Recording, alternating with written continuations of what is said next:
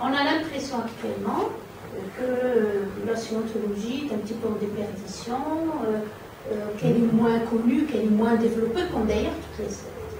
Moi, je dis non, c'est complètement faux. Ce qui s'est passé, c'est que euh, toutes les sectes et la scientologie avaient pignon sur rue jusqu'en 1995. En 96 est sorti le rapport parlementaire d'enquête sur les sectes, et là il y a eu une liste de sectes. Et depuis 1995, les choses ont changé.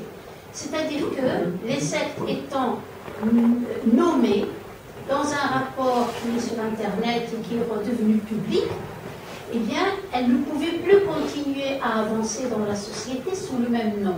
Alors, qu'est-ce qu'elles ont fait? Elles ont créé des filiales avec un nom différent et qui ne disent plus leur lien avec la secte mère.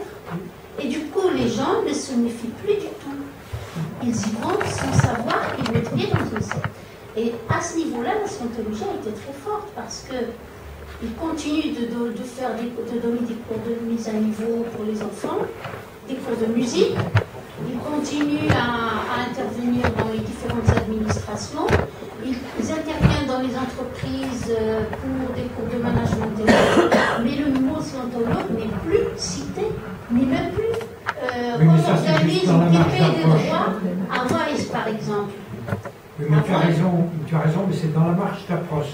C'est seulement dans la, la première étape, l'étape racolage qu'ils essayent de se cacher. Après, ils ne peuvent pas. Donc, ils ne se cachent plus après. C'est juste, euh, si tu veux, les gens qui prennent contact au début, ils n'ont pas tendance à dire oui, je suis scientologue, parce que la plupart des gens s'en méfient. Donc, ils ne le disent pas. Ils, les emmènent dans un système de pensée en leur expliquant des trucs, sans utiliser de termes techniques, etc., euh, le terme interne sciento, et moyennant quoi, ils arrivent parfois à en convaincre quelques-uns, mais pas beaucoup. Par contre, dès que cette marche d'approche est faite, les gens s'amènent dans une église de scientologie et c'est écrit dessus. Voilà. Euh, ce n'est pas, moi, mon avis, parce que pour avoir travaillé sur le terrain pour cette question-là, je sais que euh, les sectes existent, elles se développent, elles, et surtout grâce à Internet, elles se développent de plus en plus, mais sans forcément qu'on sache qu'on a affaire à une secte. Mais, mais ça est tout le fond, tout le fond. Sur les sites web, oui. Moi, j'ai eu l'o- l'occasion de rencontrer des, des- des chefs d'entreprise ont été infiltrés par la scientologie à travers euh, un cours de management ou autre, enfin, sous différentes formes. Le mot scientologie n'a jamais été cité. Ils l'ont su par la suite uniquement parce qu'on a proposé à certains cadres qui ont suivi des cours, on leur a dit Ah, euh, vous pouvez venir suivre euh, une séance d'audition et on leur donne l'adresse de la scientologie. Mais, si- mais ça, c'était dans les années 95. Mais maintenant, ils font attention parce que Ron Hubbard a dit Pour vous enrichir, marche. L'objectif, c'est de faire de l'argent, d'infiltrer la société, donc ils n'ont plus besoin de donner leur nom. Enfin, c'est mon point de vue, et ce n'est pas que la scientologie. Mais toutes les sectes, actuellement, depuis une vingtaine d'années, euh, enfin une quinzaine d'années, fonctionnent comme ça. Ce qui marche surtout comme ça et qui est tout à fait différent, pas tout à fait différent de la sciento, mais qui est, toujours dans le domaine du bien-être, ce sont les, les pseudo-thérapeutes qui vous promettent des tas de choses, de vous soigner, euh, je sais quel truc, vous rendre beaucoup plus heureux, euh, par magnétisme, par, euh, par euh, ceci, magique, par, euh, pourquoi pas la croix du Sud, hein, vous savez, vous allez dans, dans une heure digeste, vous aviez ça, vous achetez ça, c'est la croix miraculeuse. Pourquoi pas? Bon, Lorsque je vois que de plus en plus en Europe, euh, c'est considéré comme une religion. Et ça commence à avoir pignon sur sur euh, euh, dans des pays où on aurait pu penser qu'ils auraient été plus vigilants, euh, notamment euh, l'Espagne et le Portugal. Et je, ne comprends pas comment on arrive à, à un tel- une telle situation. Et euh, je me demande si en France, on ne va pas finir à force par être le seul pays européen où ça ne sera pas encore considéré comme une religion, à moins qu'on nous l'impose par euh, la- dans le système de l'Europe. Voilà, c'est plus dans les Et, et, oui, et voilà, que peut-on faire? Alors, euh, le problème est qu'on a eu à faire depuis euh, Napoléon, à, et en particulier le Concordat, à des histoires concernant les religions. Seulement, on s'est bien gardé de définir, quand on est député, on devrait utiliser des mots qui ont un sens dans la matière qu'on est en train de traiter. Or, comme le mot religion n'est pas défini en droit français, n'importe qui peut dire je suis la religion anti-scientologie. Puis je vais me mettre euh, une croix ici avec du vert et du rouge. C'est mon insigne. Vous devez le croire. C'est ça le problème.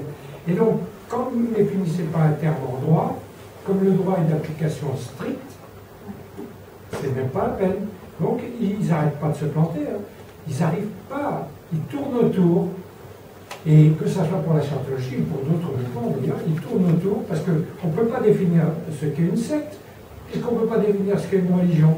Et en plus de ça, on est incapable de dire quelles sont les vraies différences entre les deux. La différence, c'est pas compliqué pour moi hein, à l'heure actuelle. Une secte, c'est totalitaire. Une religion, c'est une croyance. Bon.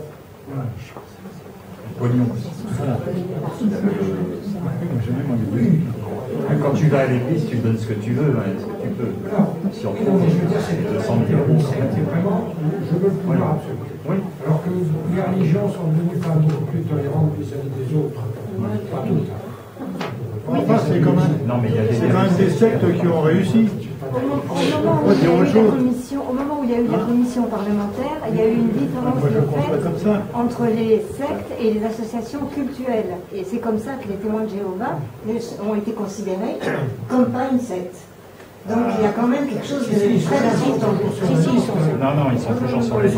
Ils sont sur la liste. Ils se disent, moi j'ai discuté avec eux des années sur Internet, publiquement, absolument régulièrement, plusieurs fois par an, je ne cesse de qualifier les dirigeants, pas les dirigeants français, les grands dirigeants de Brooklyn, donc des témoins de Jéhovah, de criminels en expliquant pourquoi je les considère comme criminels.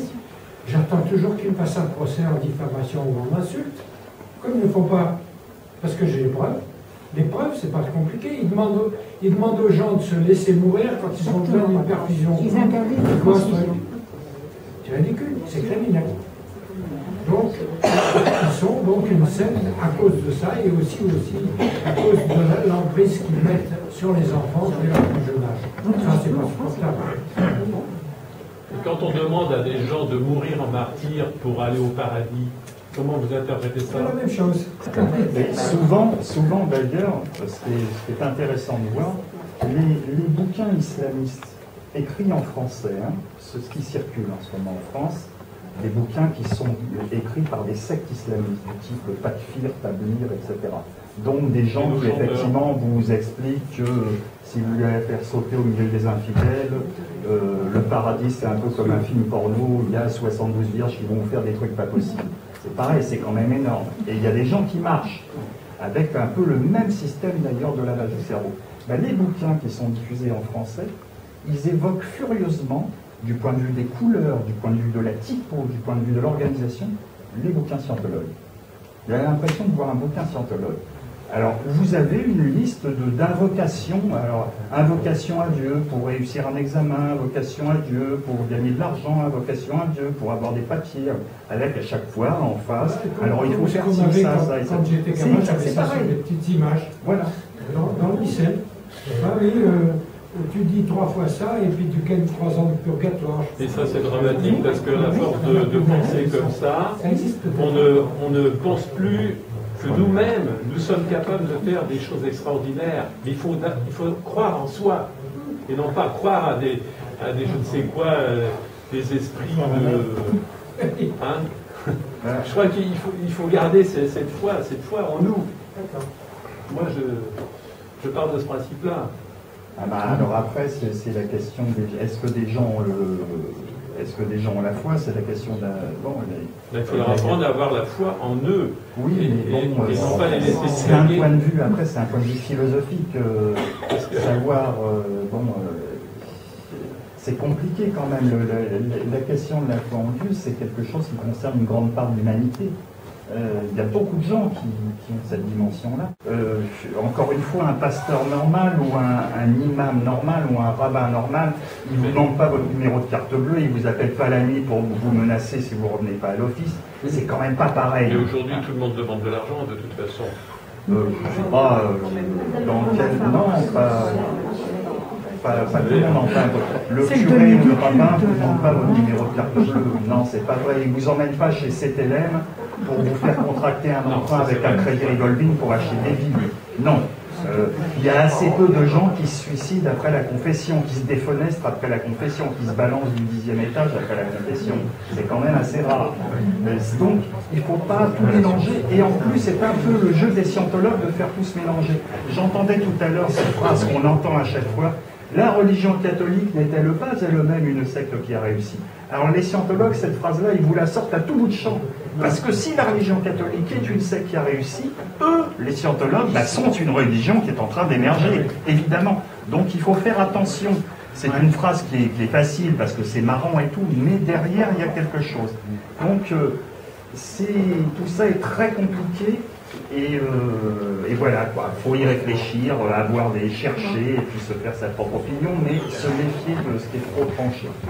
Parce que c'est très vicieux. Moi, je crois que la question, c'est beaucoup plus, euh, si on veut parler de secte de religion, c'est euh, le mode d'organisation.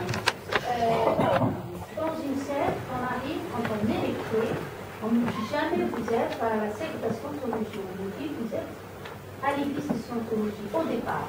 Et c'est petit à petit euh, la technique euh, du pied euh, dans la porte, une fois qu'on y arrive, ben, on n'en sort plus. Et tout se, fait par allier tout doucement. C'est-à-dire qu'on n'a pas accès à tout dès notre arrivée dans le groupe. c'est petit à petit qu'on découvre la littérature qui n'est pas diffusée de la même façon à tout le monde. Or, dans les religions, quelles qu'elles soient, dès le départ, on a accès euh, à la Bible, à la Torah, au Coran. On l'a pour lui le jour. Le le fait Si on revient à la catéchisme. elle fonctionne comme les sectes, effectivement. Quand on y met les pieds, on ne sait pas où on va. Les groupes islamistes, quand les jeunes y vont, euh, ils ne savent pas qu'un jour, et qui vont aller tuer d'autres personnes. Ça vient petit à petit. Et si elle le sait, c'est pareil. Alors moi, je crois que ce n'est pas qu'une question de croyance, mais une question de mode d'organisation. qui n'est pas la même euh, pour les religions et euh, les sectes et les groupes sectaires issus des religions.